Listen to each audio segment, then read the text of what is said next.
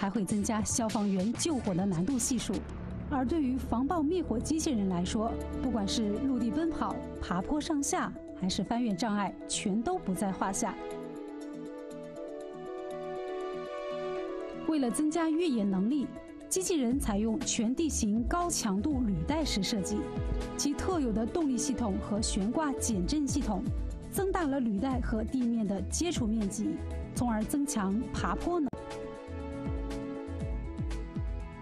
可进行最大角度为三十八度的爬坡越障，同时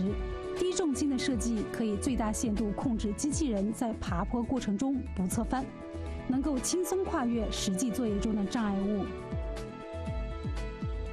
在完成灭火任务后，为了让机器人能够轻装返回，水带接口设有自动脱落装置。通过电磁感应产生的磁力使弹簧释放势能，将水带水平弹出，完成水带自动脱落。可以让我来试一下吗？哦，